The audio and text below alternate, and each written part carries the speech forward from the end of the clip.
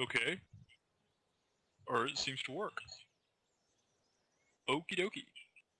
So,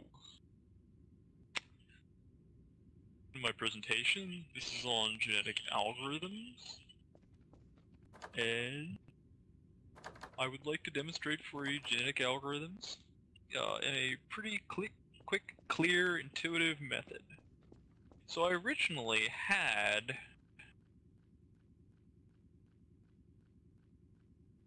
present, present, present, present, presentation and PowerPoint set, and unfortunately, despite having this PowerPoint and presentation and all this stuff set up,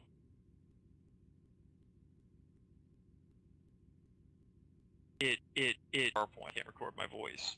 So due to these technical problems, I instead ended up just, I'm going to have to go off the slides and mail you the slides and do my presentation, my voice part here.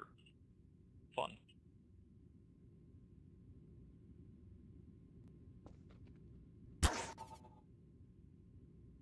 Just idly do this while uh, giving this presentation. Okay, so how do, first of all, genetic algorithms, we're going to go through first how genetics themselves work. Genetics are the parents carrying DNA, which are chemical blueprints of themselves, DNA, mDNA, etc. When reproducing, this DNA is mixed. Half of the DNA comes from the mother, half comes from the father, in most common forms of sexual reproduction. Um, the gamete will have 23 chromosomes, and each parent, these two gametes meet, well, 23 in the case of a human, these two gametes meet and produce the offspring, the zygote, first cell of the offspring, which is 46 cell uh, chromosomes in a human. So the child is a result of the mixing in the parent of random DNA splitting. Go on with you know hierarchy and a very long explanation would involve things like dominant recessive traits, but purposes of this very basic explanation, we don't need. So it's a mix of 23 of some, 23 of the other in a human. You know, half one, half the other, six of one, half dozen of the other. They mix together. They create the child. Child or children are successful in their adaptation evolutionarily, they will reproduce, pass on this particular mixture, which will continue and continue and continue. That doesn't necessarily mean they have to survive. You know, for instance, uh, bunnies are not particularly well adapted to survival. Rabbits are cute. They're not particularly, you know, they're not fierce predators. They're small little prey animals which breed very fast. Their breeding is their evolutionary adaptation because of the fact that they breed so fast, they can continue passing on their genetic material. Rabbits, which are capable of passing on their genetic material very well, are successful rabbits, and that's what the, the species continues to evolve towards and become more like them as they pass on their genes. Another example would be, uh, for instance, my uh, my cat was when he was young.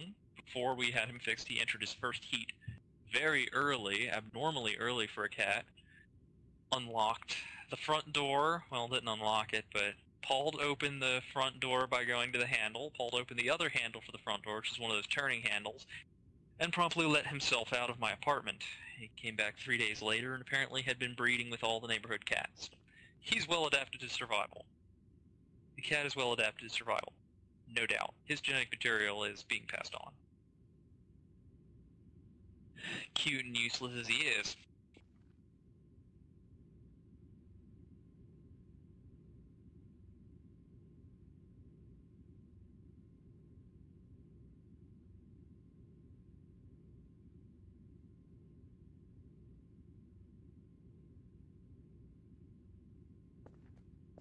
So,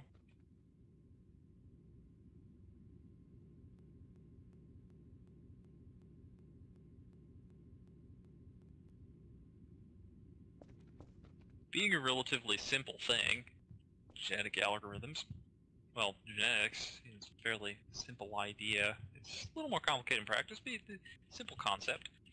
It was pretty quickly picked up on by you know, mathematics and scientists and engineers as a good way of handling certain types of problems. Genetic algorithms work by having certain parent versions of a design or a program or whatever. Parent, you know, version of them. Say, for instance, you're designing a turbine to handle jet exhaust to get the maximum efficiency out of the jet exhaust from the burning of the jet fuel. You, you may have certain degrees of the blade twist. You know, two-dimensional object fluid dynamics is very difficult uh, topic. It's not something where there's a perfect example of 110% best solution. It's going to change over idles, over ambient temperatures, you know, the wear and tear. Fluid dynamics is themselves extremely complicated.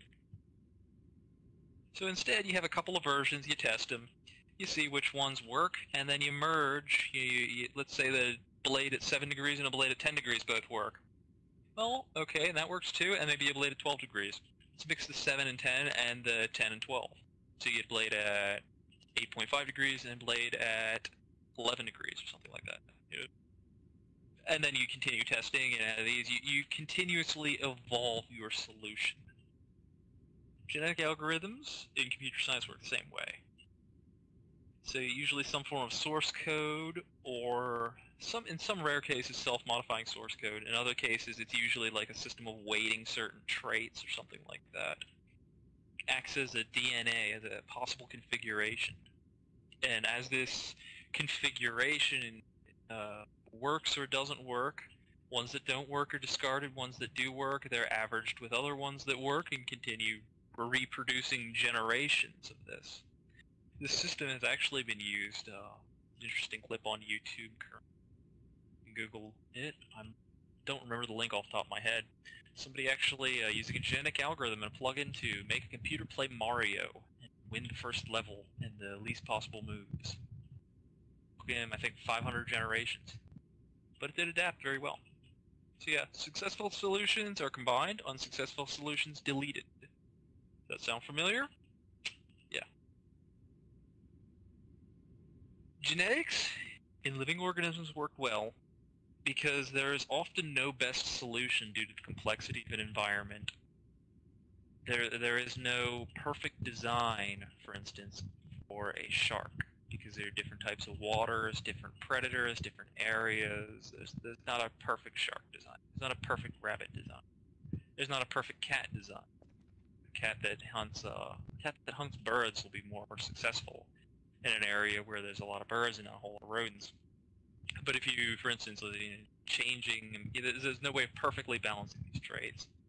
All the different traits is not what. It also adapts this this method, these chromosomal adaptation, you know, the the genetics, Mendelian genetics adapts well situations where there may not be an ideal form. There there might actually be an ideal, but it would be very very difficult. You know, there's no intelligent design, so it'd be very very difficult to, for the lack of a better word, produce the best specimen. But on the other hand, close enough, good enough is exactly that. That's acceptable outcome. You don't need a 110% perfect cat. You just need one that catches mice, survives and produces other small cats. It's also an advantage of the way our that genetics, Mendelian genetics, and even bacterial genetics one of their advantages is that the ecosystems that they're in are not static. They're not truly static. Things change. Temperatures change. Everything is interrelated. It's an enormous system. You know, meteorology, mutations of other creatures, etc. It's, it's not life in a petri dish, so to speak. So you're always trying to go for that moving target. And you want to get that good enough solution, that, that better or good solution to a moving target. You know, the world, for instance, if you look at the design of a, of a cockroach, cockroaches, especially the German cockroach, they're pain in the butt. They're disgusting creatures. They're very difficult to kill. Very uh, notoriously difficult to kill cockroaches. But they're darned well adapted. For human beings, they were well adapted to survival. With human beings, they're still well adapted to survival sharks have been relatively static genetically for a very long period of time too, because they're well adapted to the environment which they live in. Despite the adaptations, they, they both of the, these species generally stumbled on a design that worked pretty well. Stuck with it, and it changes as it needs to. But it, it has a good mixture of traits which are effective. So genetic algorithms are great for the same sort of situations. Situations where there is no true solution. There's no perfect solution, for instance, for virus recognition on a computer. But a good enough solution is a good enough solution. You can continuously evolve and find better solutions, but there's no perfect solution. And that may seem silly to somebody who doesn't think about viruses, you know, essentially they just, oh, I got a virus. But if you think about, you know, a virus, for instance, might delete a certain system file, but that system file may al- might also be deleted by a diagnostic program. Instead, vir- in, in case you're curious, virus scanners use heuristics, which is a fancy word, rule of thumb, and it just has a bunch of these which continuously change over time, and as as time goes on, they get better ways of you know eliminating false positives, and yeah, it, it evolves and adapts. It's also good for problems where true solution would be impossible to find. As I mentioned, you know, like turbines, fluid dynamics, or you know, some forms of like huge data crunching. For instance, uh, Amazon. You know, it, it, there probably is a perfect algorithm for recommending people their what to buy next, but it would be absolutely exhaustive to find it. Require way too much engineering, but a good enough algorithm is a good enough algorithm. And again, solution where it may change over time. People's buying habits might change over time, for instance, with that Amazon example. Example would be technical stock trading, you know, trading stocks off of technical indicators. These indicators, the significance of them may shift over time as technology moves on and as the marketplace dynamics change. And in fact, if anything, they are overheated right now, continuously changing far faster than many existing social norms and institutions can keep up. It's great at hitting that moving target where it's a good enough solution and there might be a perfect solution but it'd be really really difficult to get to. But a good enough solution is good enough. That's the advantage of both of them they also have another couple advantages too. Genetics you reproduce or you don't. Genetic algorithm you combine or you don't. Very simple. Very it only takes a very limited amount of input, very limited amount of external influence. It's also continuously adaptive. You know, let's say for instance I have a genetic algorithm which creates over time a good solution to let's say the steering of a car, you know, some form of active steering. As drivers continuously, oh, it's a better example, uh, self-driving cars. As as these you know, systems continue and continue and continue and continue. Let's say, for instance, you have one where the, you know, the driver can override it. You could monitor maybe the driver's patterns of when they override it and how they override it, and use this to make the system learn and adapt over time. It can be in a production environment, just like how living creatures can be in and you know living and reproducing and doing their thing and you know the humpity jumps and all that and the the splitting and the mitosis and all that good stuff, if you're a bacteria, they can be doing that perfectly fine as they're continuously adjusting to, you know, they're, they're, they're able to be used. And it's also very flexible because it can produce an extreme variety of solutions.